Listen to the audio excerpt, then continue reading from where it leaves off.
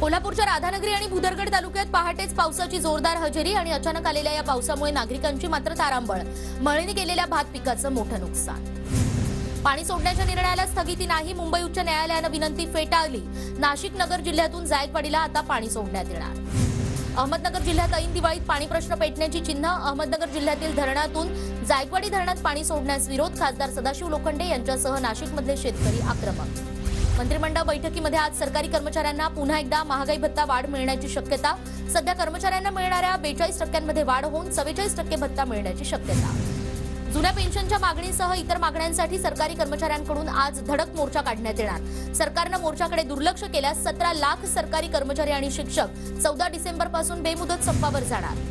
रासायनिक फटाक्यांना देशभरात बंदी असायला हवी प्रदूषण रोखण्यासाठी सुप्रीम कोर्टाचं निरीक्षण.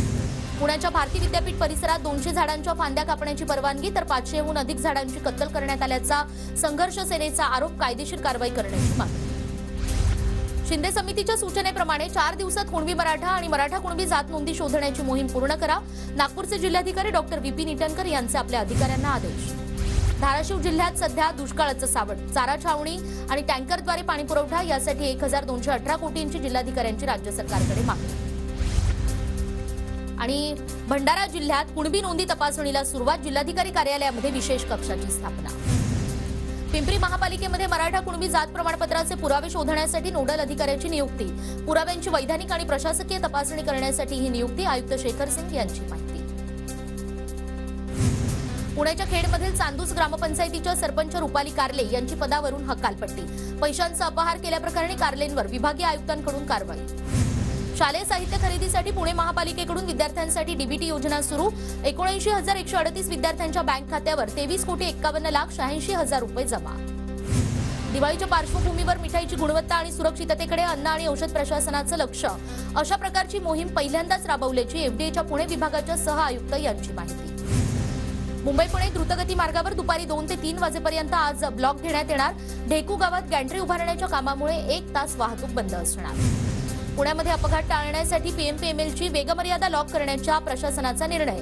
पीएमपीएमएलच्या सर्व बसेसना पन्नास किलोमीटरवर लॉक करण्याचे आदेश. धुळ्यामध्ये राज्य परिवहन विभागाच्या नवीन बसेस दाखल दिवाळीच्या पार्श्वभूमीवर अठरा लालपरी सध्या दाखल. पुण्यातून दिवाळीला गावी जाण्यासाठी ट्रेनचं बुकिंग फुल. एसटीलाही गर्दी झाल्यानं खासगी वाहनांकडे प्रवाशांचा ओढा मात्र दिवाळीमध्ये खासगी वाहतूकदारांची भरमसाठ तिकीट वाढ.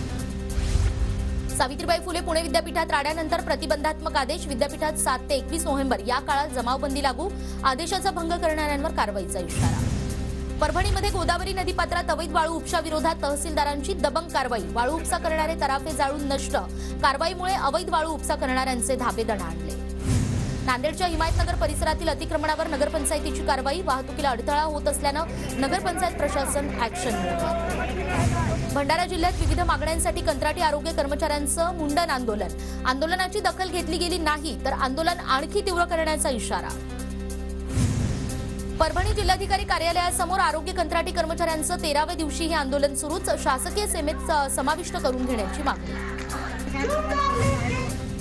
नांदेडच्या बिलोली तालुक्यातील ग्रामपंचायत कर्मचारी संघटनेचं आमरण उपोषण कर्मचाऱ्यांना राहणीमान भत्ता आणि निर्वाह निधी देण्याची मागणी.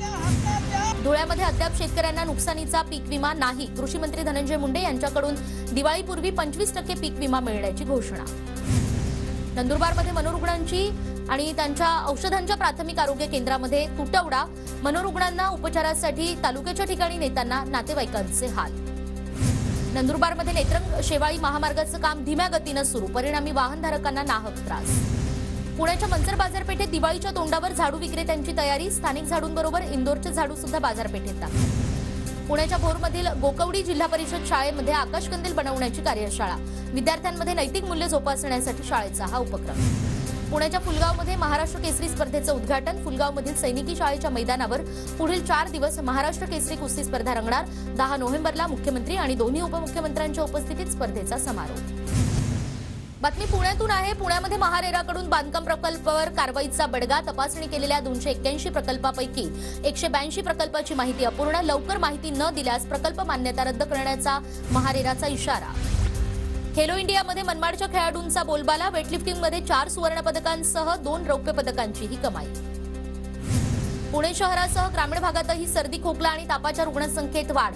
डेंग्यू आणि मलेरिया सारखे साथीचे आजार पसरल्यानं नागरिकांची डोकेदुखी वाढ रोहित पवार पुन्हा युवा संघर्ष यात्रा काढण्यासाठी सज्ज मराठा आंदोलन मागे घेतल्यामुळे पुन्हा यात्रा सुरू होणार.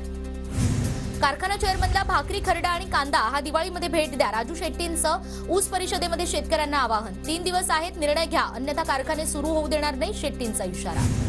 अब्दुल सत्तारांचा मुलगा समीर सत्तार काढणार मोर्चा शिल्लोड तालुक्याला दुष्काळग्रस्त भाग म्हणून घोषित करा. या मागणीसाठी सत्तारांचाच मुलगा आता मोर्चा काढणार. मुंबईमध्ये शालेय विद्यार्थी घेणार प्रदूषणमुक्त दिवाळी साजरी करण्याची शपथ. मुख्यमंत्री आणि उपमुख्यमंत्र्यांच्या उपस्थितीत मंत्रालयात आज कार्यक्रम. महाराष्ट्र विधान परिषदेचा आज शतक महोत्सव. महोत्सवानिमित्त मुख्यमंत्री उपमुख्यमंत्री आणि आजी माजी सदस्यांचा स्नेहमेळाव्यासह परिसंवाद.